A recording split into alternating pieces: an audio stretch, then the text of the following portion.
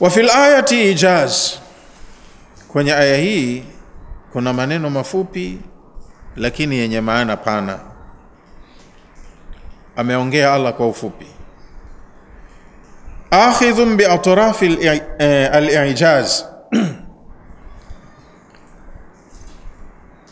Inapatikana hiyo ijaz kwenye mi- miishio ya aya yani imemalizia aya zake huku mwisho kimaajabu maajabu hivi. Fakad ashara taala ameashiria hapa kwenye aya hizi allah mtukufu biqaulihi kwa kauli yake jannatan wa harira. Jannatan ila ma yatamattau bihi ulaika alabrar fi dari lkarama janna inamaanisha wanakwenda kulipwa vitu ambavyo binadamu huwa anavihitaji sana katika starehe na raha zake.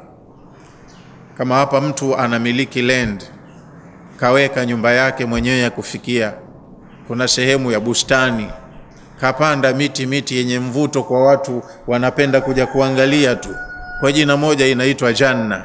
Kwa hiyo mtu huko ana maisha ya fahari ana ardhi yake mwenyewe kawekeza maeneo ya kuishi. Kuna majengo ya gharama halafu kuna maeneo ya mashamba. Kuna vitu vingine vingine ambavyo mtu mwenye maisha hapa duniani huwa ndo anawekeza akajitahidi kutengeneza.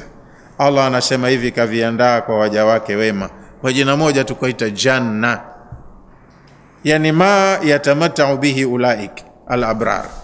Ni mambo yote ya maisha ya fahari atakayokwenda kustarehe nayo mtu mwema kama huyo au watu wema kama hao fi dari lkarama kwenye hiyo nyumba ya heshima ya peponi min asnafi lfawakihi wathimari imeitwa janna kwa sababu kuna maeneo ya miti ambayo mtu atakuwa na aina mbalimbali za matunda mali yake mwenyewe.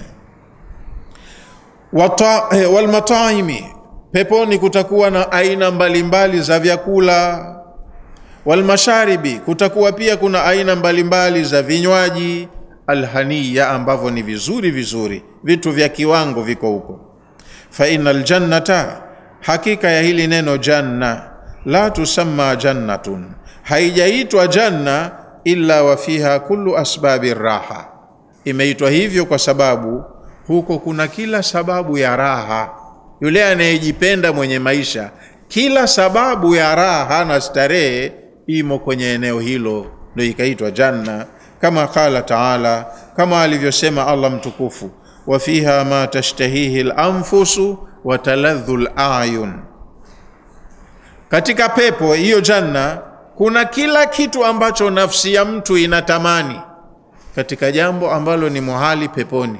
Mtu kukaa anafikiri jambo anatamani jambo akaambiwa haliwezekani utakachotamani chochote kiko available. Chochote. Iwe chakula kinywaji mavazi. Nataka nionane na fulani mbona simuoni? Huachwi na dukuduku. Ile kujia tu fulani simuoni. Hata kama yuko motoni. Allah anakuuliza hal antum muttaliun? Huyo mnayemzungumza mnataka mumuone? Ehe. Fatala. Unaonyeshwa. Faraahu fi sawai ljahim unamwona yuko katikati ya moto wa jahim. Hutamani jambo huko ukaambiwa hili haliwezekani. Ndo maana allah akasema kwa ufupi wa fiha katika hiyo janna ma tashtahihi lanfusu patapatikanwa kila jambo ambalo nafsi ya mtu inatamani. Wataladhu layun na kuna kila kitu ambacho jicho la mtu linaburudika kuangalia napenda nione nini unaona. Natamani kula kitu gani unapata kipo. Na, na usudu kinywaji fulani hauambiwi hakuna ni mwiko kuambiwa hicho kitu hakipatikani. Kila kitu kipo. Hiyo ndo janna. Ni maisha ya fahari kwa anayejua maisha maisha yako huko. Kwa hiyo mtu anayejielewa anatumia dakika zake hizi chache za duniani kwa kutengeneza hayo maisha ya huko kila linalotakiwa na nafsi ya mtu huko litakuwa linapatikana. Wa ashara biqaulihi na ameashiria allah kwa kauli yake wa harira.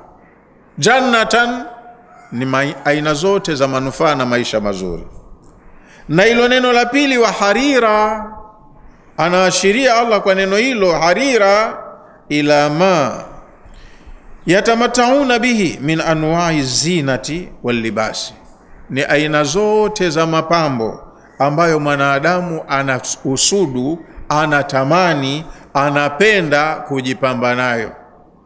Kwa hiyo peponi pia, pamoja na maisha mazuri, majengo ya fahari, vyakula na vinywaji, pia kuna mapambo anayovaa mtu ya kiume na ya kike, kama mapambo pamoja na nguo. Yani hii harira inaakisi ma yatamatauna bihi, mambo yote ambayo watakwenda kutumia watu wa peponi, min anwai zina, aina mbalimbali mbali za mapambo.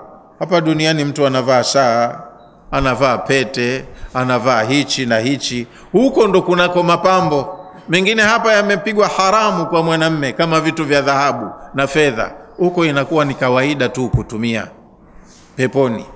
Kwa hiyo aina zote za mapambo anayojipambia mtu, walibasi na nguo anazovaa mtu, kwa neno moja tu kawakilisha Allah.